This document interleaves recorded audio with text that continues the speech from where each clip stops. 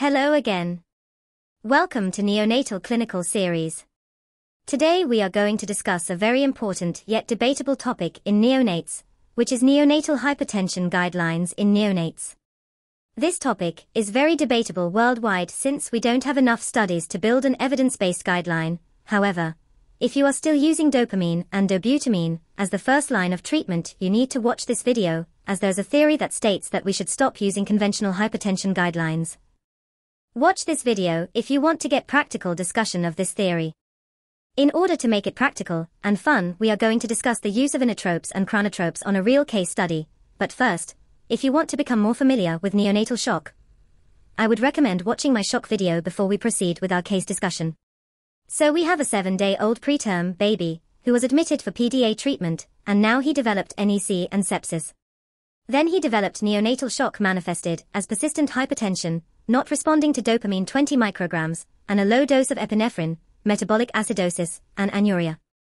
What shall we do now the baby is not in shock, and not responding to dopamine, dobutamine? To answer this question, we need to know the hypotension guidelines approach. The first approach, which is the number approach, which is to use dopamine and dobutamine immediately. Or the second approach, which is the pathophysiology approach. To know the cause and treat it instead of checking only numbers. In order to determine the approach we should take, it's important to review some key facts. Hypotension is a late sign of shock, and it occurs only when the body cannot compensate for the shock. Therefore, when treating hypotension, it's important to remember that we need to improve perfusion, not just focus on blood pressure numbers. So, as agreed, we will use a pathophysiology approach. To treat shock, we need to identify the cause, which is usually one of the following. Vasodilatory shock, Cardiogenic shock. Ductal shock. Adrenal insufficiency. How can we differentiate between them? The easiest way to identify the cause of shock is by performing echo, and this is what we did. The study revealed adequate myocardial contractility, with a shortening fraction of 48%, normal 28% to 44%. In addition, both right ventricular output, RVO, and LVO were adequate, at 282 milliliters per kilogram per minute, and 287 milliliters per kilogram per minute, normal 150 to 300 ml a kilogram a minute, respectively. RF measure is affected by both pre load and afterload and thus values below the normal range may indicate intrinsic myocardial dysfunction and or changes in the loading condition of the heart.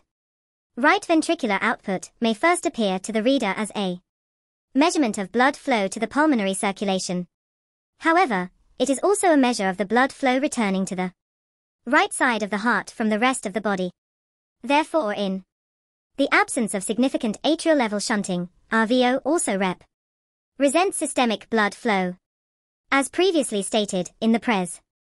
Ends of a left to right shunting at the PDA, LVO becomes a measure for both systemic and pulmonary blood flow. In patients with left to right shunting across the PDA assessment of right ventricular output, or SVC flow, is thought to be a better measure of systemic blood flow. However, both techniques have their significant technical and pathophysiology-related limitations.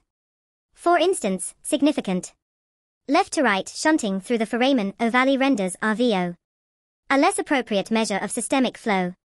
As for our case, cardiac contractility appears normal as suggested by the adequate fraction shortening. Output, both RVO and LVO, are also within normal range. Hence, we can deduce that the hypotension is not caused by myocardial dysfunction. Rather it is secondary to a significant decrease in the SVR, calculated as MBP2 or LVO 50.04 mm Hg at ml a kilogram a minute, most likely due to a cytokine storm, induced vasodilatory shock in the setting of the gram-negative sepsis, and without adequate compensatory increase of cardiac output. Furthermore, as LVO and RVO were virtually equal, 282 and 287 milliliters per kilogram per minute, respectively.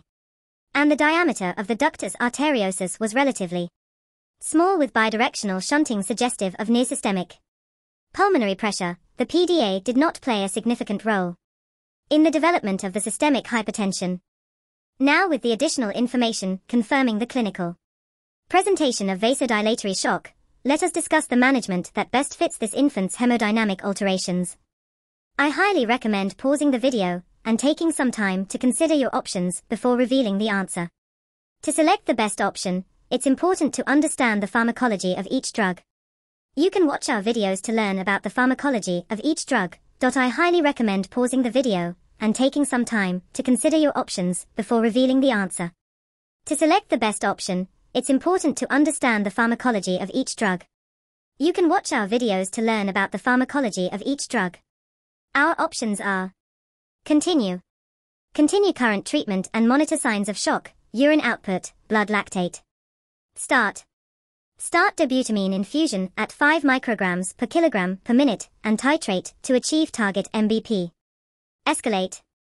Escalate the dose of dopamine infusion. Escalate. Escalate the dose of epinephrine infusion. Replace. Replace dopamine with norepinephrine. Start.